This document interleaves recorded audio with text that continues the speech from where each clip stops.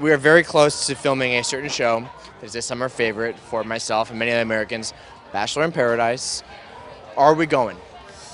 Decisions have not been made yet for me on my side. I mean, I know filming's coming up quick, conversations are there, but decisions are not finalized.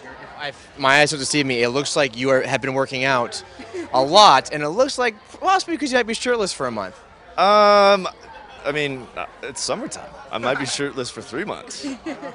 So, I don't just know. moved to Santa Monica, Venice. I uh, just moved to Venice, yeah. So lots of shirtless going on, but the gym has been a good place to, to relax. Yeah. Ashley, you gonna be making a third return to Paradise? I do not think so. No, actually, the answer is no. Definitely not. Why not? You can't do it four times. And you know, I love the experience. It's been the best two and a half years of my life doing the whole Bachelor franchise, but I feel like I probably need to take a break. A break. So you're gonna go back eventually?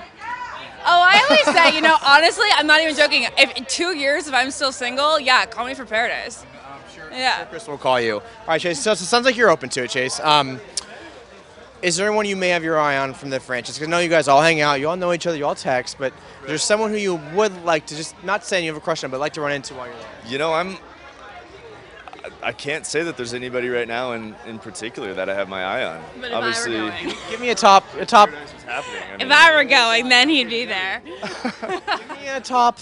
Maybe just someone, not even someone you have a crush on, but someone, anyone. there- you know, it's it's one of those that I would want to see a list of everybody that's going to paradise. I'll let you know who I want. I'm pretty sure Corinne's going. I'm pretty sure Corinne is going. It'd be interesting to see what Corinne has to do in paradise. But yeah, no, for me, there's no, you know, I'm not seeking out anybody in the franchise right now. All right, Corinne, I know people want to see you on Bachelor in Paradise. Okay, I know you can't tell me what's happening or not, but do you want to go? Are you up for going? Um, I can't say. Would you, do you want to go?